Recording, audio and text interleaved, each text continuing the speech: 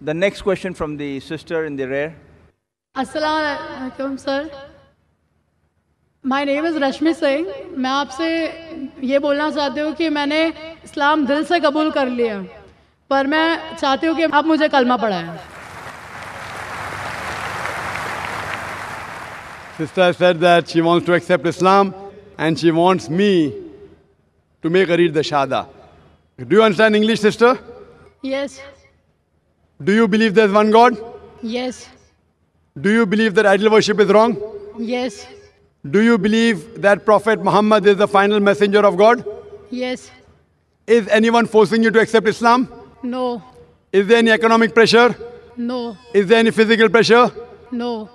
Are you accepting with your free will? Yes. Yes, sister. So I will inshallah recite the kalma in Arabic and you can repeat it. Ashadu. Ashadu. Allah.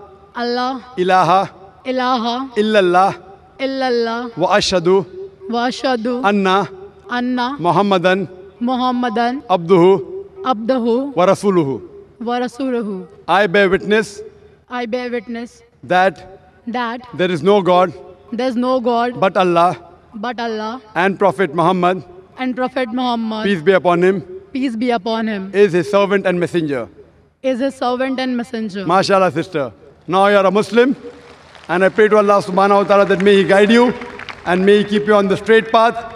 As Allah says in the Quran in Surah Al Imran, chapter 3, verse number 8. ربنا لا تزغ قلوبنا بعد إذ هديتنا وهب لنا من لدنك رحمة إنك أنت الوهاب.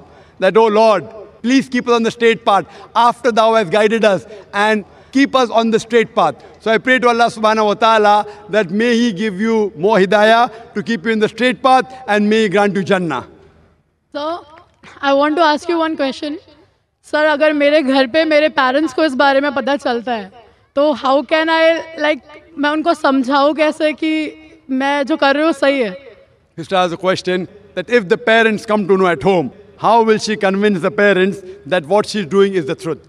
Sister, first thing is that you start loving your parents more, number one.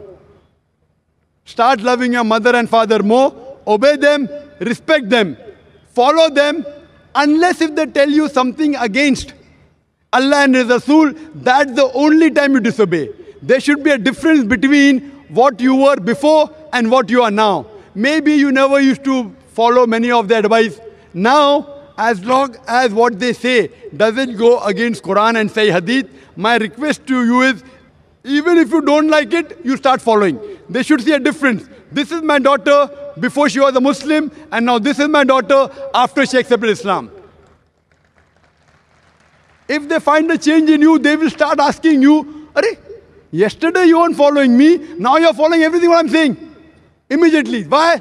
This is what the Quran says. This is what our beloved Prophet said that paradise lies beneath the feet of your mother. In this way, you try and win them over.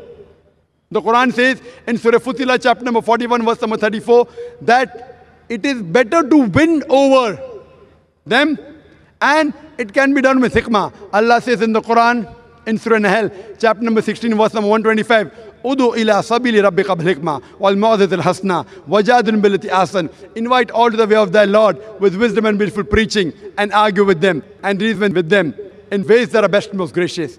I would request you to give my DVD similarities between Islam and Hinduism to your parents and inshallah it will soften their heart and I pray to Allah subhanahu wa ta'ala that may give hidayah to your parents also and to your family members. Thank you, sir.